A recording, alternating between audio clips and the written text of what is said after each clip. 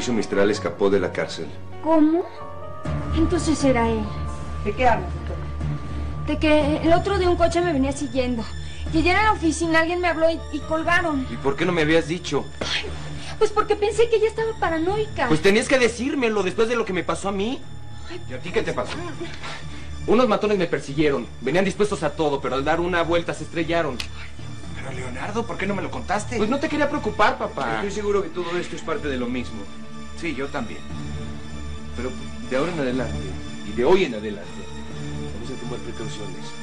Tú vas a tener constantemente una escolta que te vigile, Antonia. No. Sí, no, hija, no, es no, necesario. No, no, papá, yo no quiero. Antonia, por favor, escucha a tu padre. Tienes que aceptarlo. Es muy peligroso que en estos momentos andes sola. Yo estoy de acuerdo. Acéptalo, Antonia. Es por tu bien. Está bien. Sale, es necesario.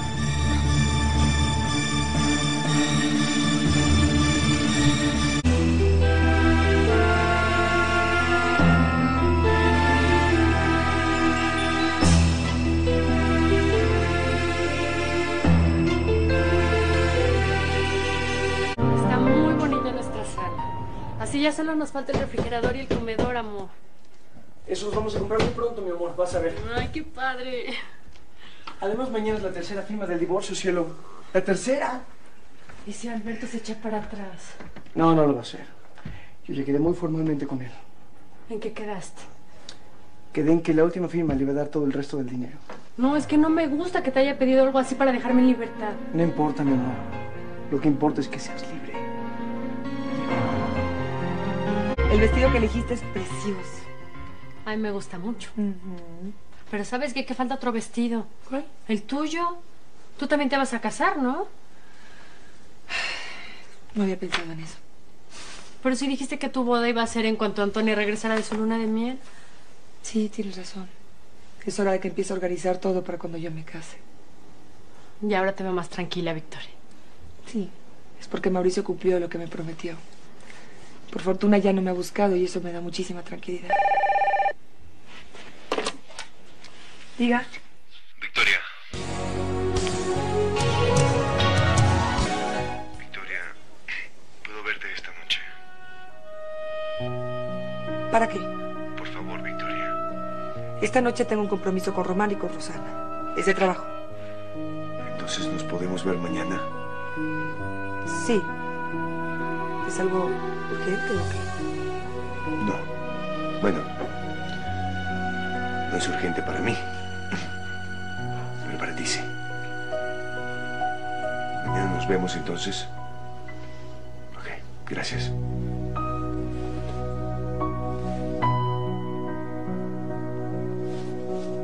Era Mauricio. Sí, me di cuenta porque estabas temblando.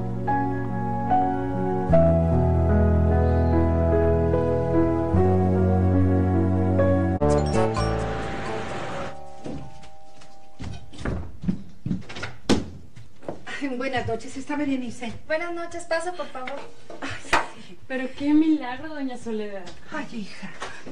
Ay, Berenice, estoy muy preocupada. Por favor, siéntese. Sí, sí, hija. ¿Qué le pasa? Es que yo creo que mi hijo Alberto se trae algo con la abuela de Eduardo. ¿Cómo? Sí, doña Úrsula Castellanos está en tratos con Alberto.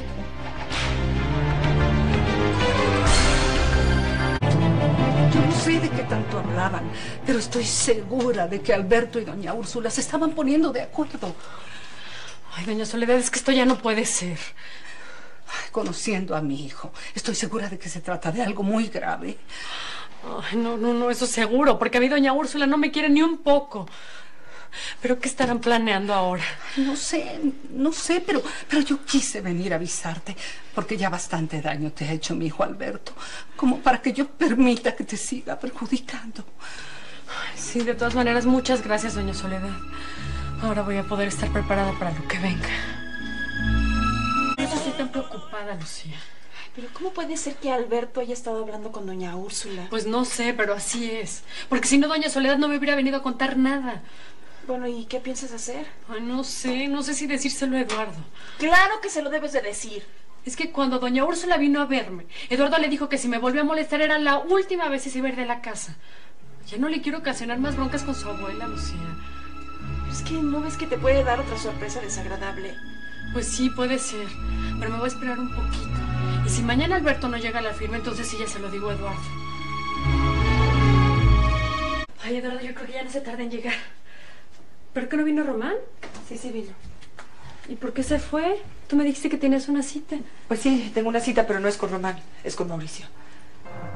¿Y Román lo sabe? No. Es la primera vez que yo le miento a Román. ¿Y a qué hora llega Mauricio? Ay, no sé, no sé. Ya, no te pongas nerviosa. Todavía es tiempo, mira. Alberto no debe de tardar.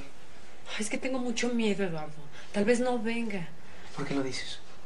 Es que ayer doña Soledad fue a la casa y me contó que encontró a Alberto hablando por teléfono con tu abuela. Pues no lo sé. Pero Alberto no le quiso decir nada a doña Soledad, pero ella me asegura que su hijo estaba hablando con doña Úrsula.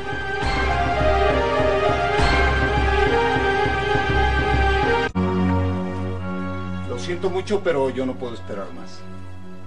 Sí, se tardó ya, licenciado, pero... Mire, No, no se tardó, este señor no llegó, así que me retiro. Por favor, licenciado, le, le ruego que me dé Lo 10 siento, minutos Lo más. siento, con permiso. Licenciado, por favor.